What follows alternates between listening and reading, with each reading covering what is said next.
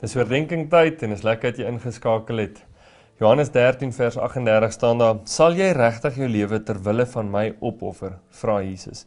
Ek verseker jou, voordat die haan môreoggend kraai, sal jy 3 maal ontken dat jy my ken.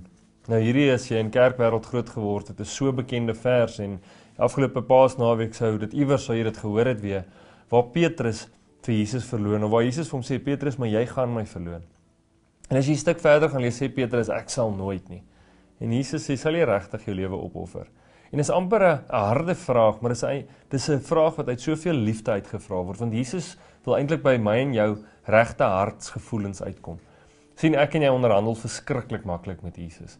Ons sê Here, my kind is siek asseblief. Ek sal ek beloof ek sal dit en dit en dit doen of ek sal ophou met daai. Ek sal by die werk ophou dit doen en ek sal my vrou so hanteer, my man so hanteer en ek sal net die kinders maak hom of haar net gesond of of Here as hierdie hond my nie byt nie, beloof ek ek sal dit en dat doen. So ons onderhandel die hele tyd en dis wat Petrus ook hier gedoen het. Petrus het probeer onderhandel en Jesus het geweet Petrus, ek weet wat jy gaan doen en daarom vra ek jou, sal jy regtig jou lewe opoffer? En dis vanoggend die vraag vir my en jou ook.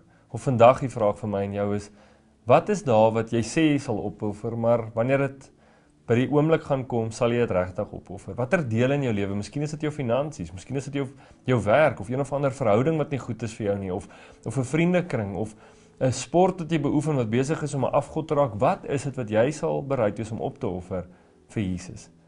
En hierdie is nie 'n vraag om jou te laat skuldig voel nie. Dit is nie 'n vraag om my te laat skuldig voel en ons hier in sorge te dweep nie. Jesus wil by ons harte uitkom en hy sê ek wil jou hierdie deel wys. Jy sê een ding, jy onderhandel maar jou hart is nie werklik daar nie. So vandag spandeer tyd. Vat hierdie tyd uit en sê: "Here, wys my, waar is ek besig om nog nie regtig daai deel oor te gee en op te offer vir U nie." Kom ek in U bid saam. Jesus Christus, dankie dat U ons vandag met liefde kom kom konfronteer en sê: "Sal jy regtig jou lewe terwyl van my opoffer?" Here, ek wil bid dat U ons bewus sal maak van die dele wat ons nog nie opgeoffer het nie. Of dit nou een aspek is rondom ons vriendekring of ons sosiale lewe of ons finansies of ons intellek of of waar ook al wat ons selfs partykeer doen ons dit met kerk wat ons ons maak die mense van kerk iets wat ons nie wil opoffer nie om U te volg en U kom vandag en uit liefde uit omdat U weet wat dit aan ons gaan doen en dat dit aan die dood toe gaan lei vir ons net wil kom uitwys. Here mag ons eerlik wees met onsself en eerlik wees met U en hierdie dele wat ons nog nie opoffer na U toe bring. Dankie dat ons kan stil staan hierby en dankie dat hierdie vraag uit liefde kom. Ek dank U en ek eer U en ek prys U in die naam van Jesus. Amen. Sterkte met hierdie vraag en spandeer 'n bietjie tyd op hom sodat uh, wanneer jy aankraai, ek en jy nie skuld gevoel het nie. Totsiens.